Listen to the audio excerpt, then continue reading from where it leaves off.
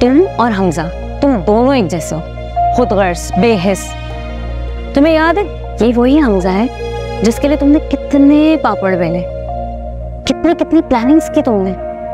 नवाल और हमजा, दोनों के दरमियान कितनी गलत फहमियाँ पैदा की तुमने।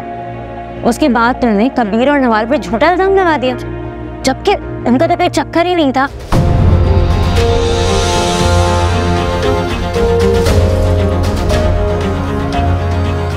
लेकिन हमारी फलक को तो लगता था कि जो इंसान दौलतमंद होता है, जिसके पास दुनिया की तमाम आसाइशें होती हैं, बस यही तो खुश रह सकता है कबीर को इश्तियाल दिला के तुमने उसे डाइवोर्स ली ताकि तुम हमजा को ट्रैप करके उससे शादी कर सको, और इल्ज़ाम लगा दिया तुमने नवाल पर।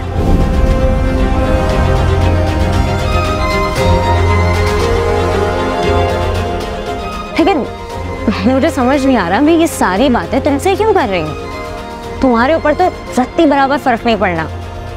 इसीलिए मैं तुम्हें समझा सकती हूँ बस, और कुछ नहीं कर सकती।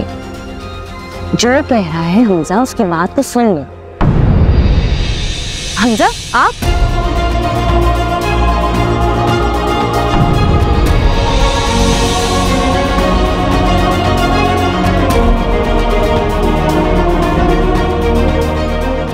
हमजा आप आप कब आए?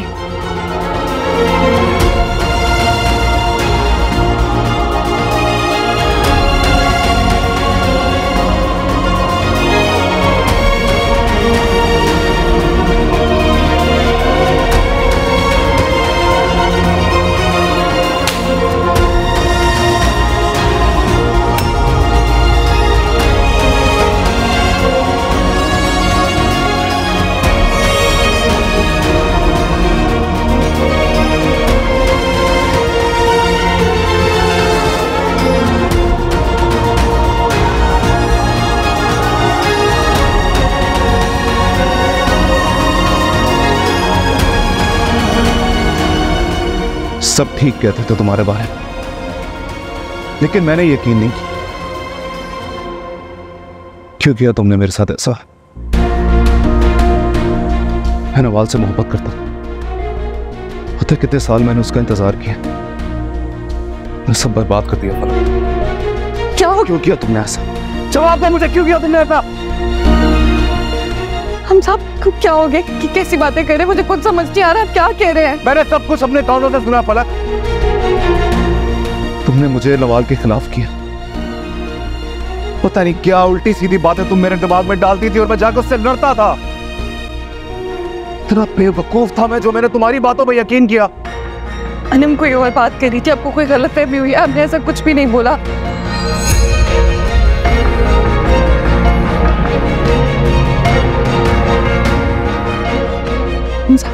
मुझे आपसे मोहब्बत हो गई थी। बंद करो। मोहब्बत मोहब्बत हो गई थी तुम्हें मुझसे। झूठ बोल रही हो तुम। ये सब कुछ तुमने पैसों के लिए किया तुम्हें मेरा नाम चाहिए था, मेरा स्टेटस चाहिए था।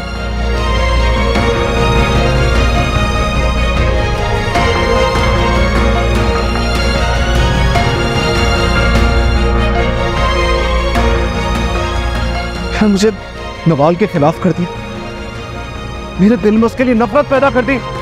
अरे तुम्हें पैसे चाहिए थे वैसे बताती मैं वैसे ही तुम्हें सब कुछ दे देता। मुझे सर कुछ नहीं चाहिए था हमजा मुझे आप चाहिए थे मुझे और कुछ भी नहीं बात बंद करो अपनी।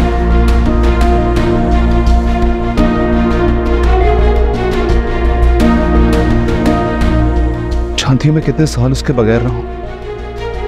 मुझसे मेरी मोहब्बत छीन ली मेरी खुशियाँ छीन ली सब बर्बाद कर दिया तुमने।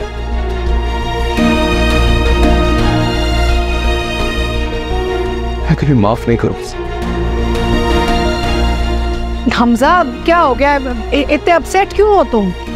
सब बर्बाद हो गया मामा आप ठीक कहती थी। बच्चों ठीक कहती थी। इसने ट्रैप किया मुझे।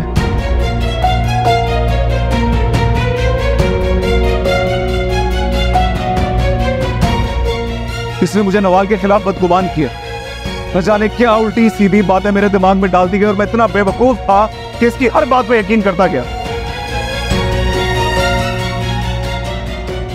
मुझे नवाल से दूर कर दिया मामा उसने तो अपनी उस बहन का भी ख्याल नहीं किया जो उससे इतनी मोहब्बत करती थी इतना ख्याल करती थी इसका।